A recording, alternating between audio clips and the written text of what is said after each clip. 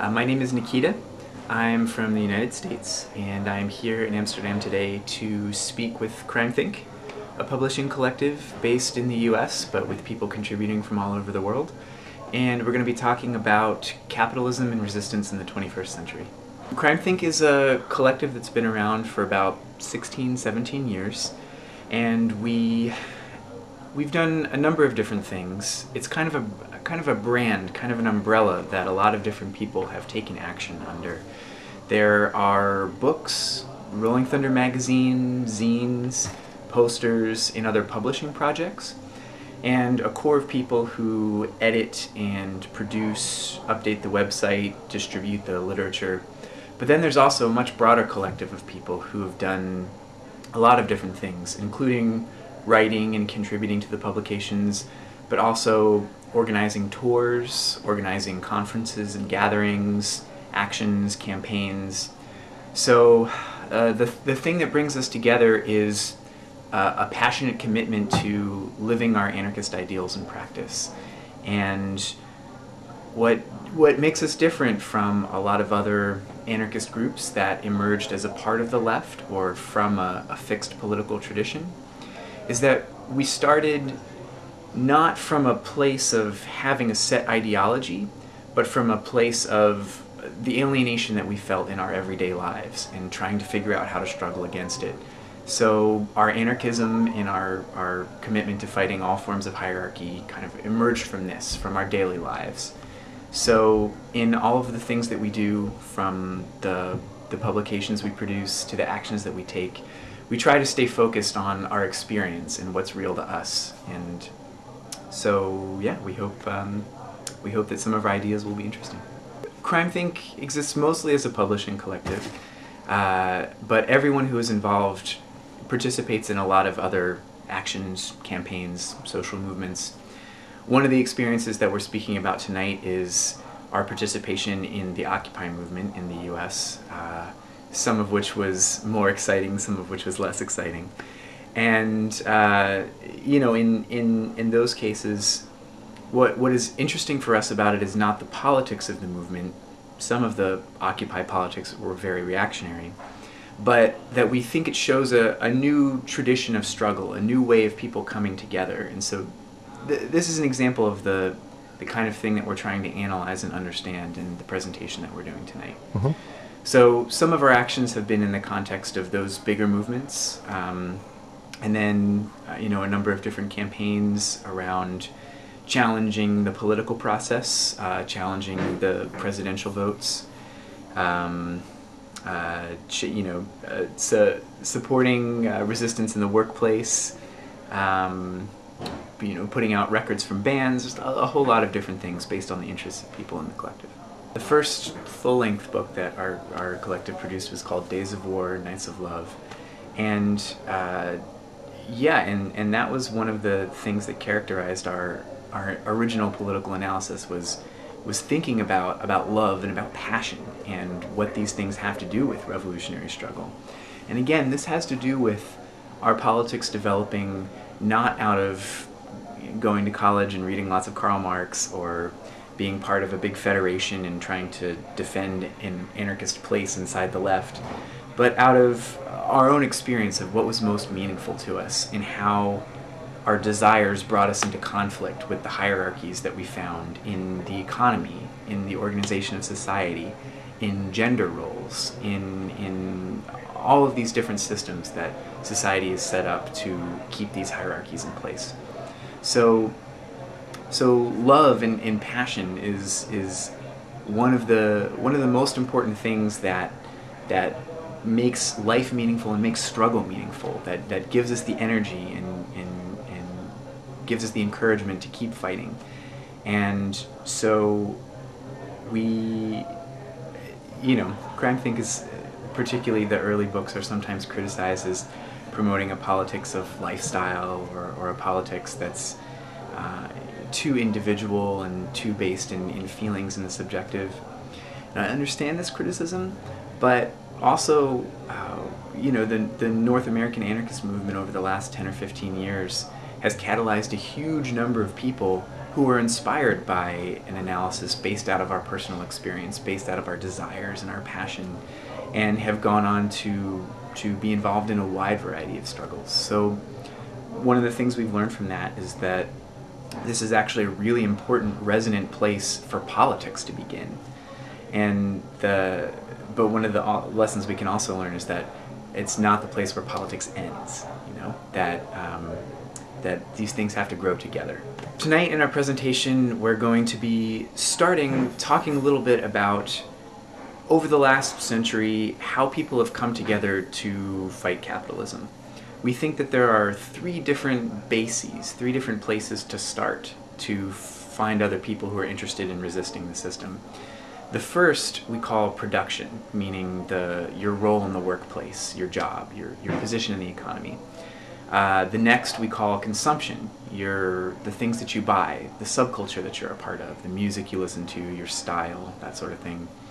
And the third, which is the situation we find ourselves in today in the U.S more and more, we call precarity, which is not uh, a shared job or a shared subculture, but a shared experience of being excluded or having no fixed place in the economy. So in the presentation we speak about why we think that struggles that are based in production and in consumption have hit a limit, why we don't think that they can go much further. And while we certainly hope that people will still form unions, fight in their workplaces, form punk bands and you know fight in their subcultures, we don't think that these are the areas that are going to grow, that are going to be new horizons for resistance to capitalism. So we focus on talking about precarity and the the way that the economic changes of the last century have created a new situation where we can't rely on the old compromises that previous generations made to preserve a place in the economy. So we talk a little bit about the kinds of labor that we do today uh, in, in the new precarious economy. And then we talk about some of the some of the ideas we have about resistance. So first, in terms of thinking about who is going to resist and how we're going to find each other, we think more and more it's going to be struggles outside of the workplace, outside of college campuses, outside of the traditional places that people have come together, based in people across the continuum of society who feel vulnerable, feel like they don't have a fixed place in the economy. Uh, in terms of the actions that people will take, we talk about some of our experience with uh, different social movements, the ways that certain tactics hit a wall, and the ways that when people move from just holding signs or just trying to defend their position in the economy into actually interrupting the economy, that these are some of the struggles, particularly in Oakland and in Montreal, that we're able to go further and, um, and create a, new possibilities for resistance. In terms of an overall strategy for how these different struggles can link together, we don't think that the old leftist model of winning small uh, reforms bit by bit is going to work anymore because in many cases uh, the capitalists and the politicians who we would demand those reforms from aren't even capable of granting them. So we actually think that uh, that revolution might be more realistic than reform. So our goal is not just to win small victories, but to to create a new way of fighting, to create a new precedent for struggle by experimenting with tactics that can spread uh, and and become contagious. And so uh, that leads into the last question, which is what's the role for anarchists in this? And we think that anarchists have an important role to play, not as a vanguard or as the, at the center of a struggle against capitalism, but as people who are willing to expand our sense of what's possible, to uh, challenge the boundaries that we set around tactics and in movements and around struggle, and also to create a new sense of what's legitimate, what we feel like we have a right to do.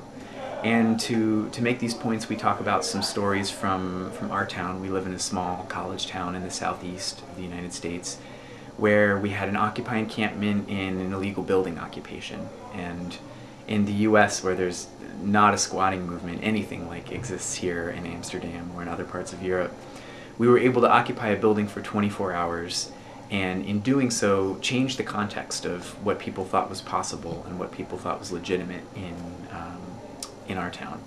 So we hope that from, from this analysis and from some of these stories that it'll start some conversations and we also want to learn about the struggles happening here in the Netherlands and, um, and see what people are doing. When the Occupy movement kicked off in New York City with Occupy Wall Street, there were anarchists who were involved from the beginning, um, along with a wide variety of other people. But it was that original anarchist influence that was one of the reasons why things like consensus decision making and uh, you know refusal to participate in any political party, why these were fundamental principles of the movement. So when Occupy, when Occupy became very popular and spread all over the country, there were over 400 encampments uh, at the high point. Uh, you know, for, for, for me, I, you know, in the town where I live, the anarchists in, in town got together and discussed, you know, how do we want to relate to this movement? You know, we, we don't agree with all of the politics or all of the reforms that some people are, want to win through it, but we recognize that it's a genuinely social movement, that there's energy, there's potential there. So we decided to, to hold the first assembly, to put up the flyers and, and call for it. And so in our town, anarchists participated from the beginning.